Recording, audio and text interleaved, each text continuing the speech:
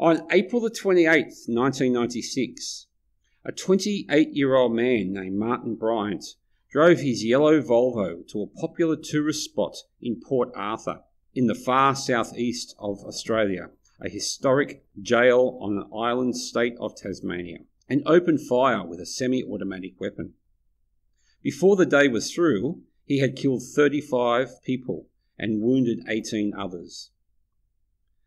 12 of those deaths came at the Broad Arrow Cafe, where Bryant first ate lunch and then sprayed bullets with his Colt AR 15 SP 1, which he hid in a tennis bag.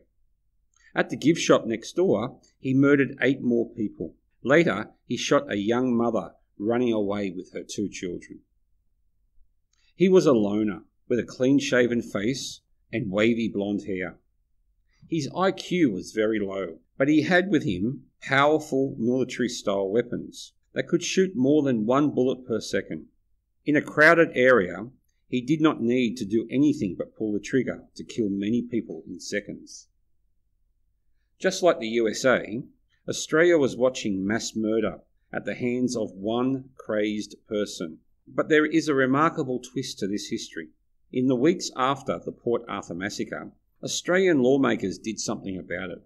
Within just weeks of the tragedy, elected officials in each of Australia's six states and two mainland territories, pressed forward by police chiefs across the continent and the then newly elected Prime Minister, banned semi automatic and other military style weapons across the country. The federal government of Australia prohibited their import, and lawmakers introduced a generous nationwide buyback program funded with a Medicare tax to encourage Australians to freely give up their assault style weapons. Amazingly, many of them did. A land of pioneers and outback settlers, Australia had never embraced much government regulation, and certainly not about their guns. This was a land of almost cartoonish toughness and self reliance, home of Crocodile Dundee and Australian rules football. But Port Arthur had followed too many prior deadly shooting sprees, and Australians were clearly tired of them. So, what happened after the assault weapon ban? Well, this is the other amazing part of the story. Nothing. Nothing, that is, in a good way. Australian independence didn't end. Australians still hunted and explored and surfed to their heart's content. Their economy didn't crash.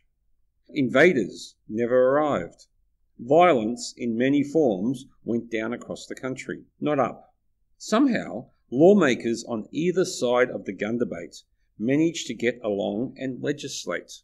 As for mass killings, there were no more, not one in the past 22 years. In 2002, a mentally impaired student at Monash University in Melbourne shot two people dead and injured five others. He came to his rampage with six handguns, not an assault rifle. Had he been carrying an AR 15, the toll would have been far worse. But even so, Australian lawmakers added a new national handgun agreement, a separate buyback act, and reformulated gun trafficking policy in their legislative arsenal. There has been no similar shooting spree since.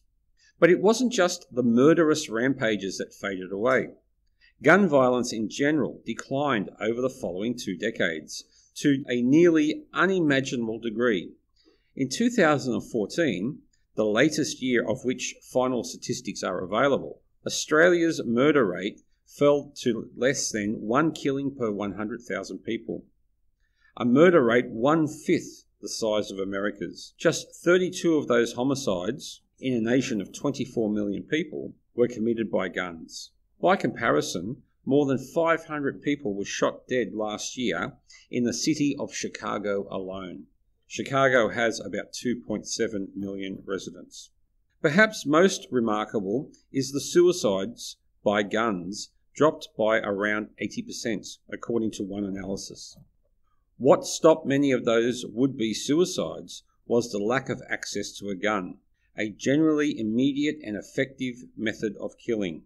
Nine out of ten suicide attempts with a firearm result in death, a far higher share than attempts by other methods. Public health experts call such an effect means restriction. Some Australians found other ways to take their own lives, but for many, the acute moment of sadness and resolve passed in the absence of a gun.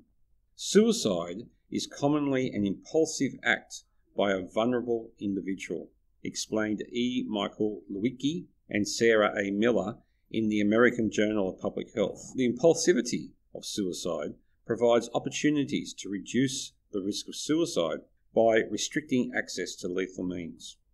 Which brings us back to the here and now. In 2015, an unthinkable 22,103 Americans shot themselves to death with a gun, accounting for just over half of the suicides in the country that year.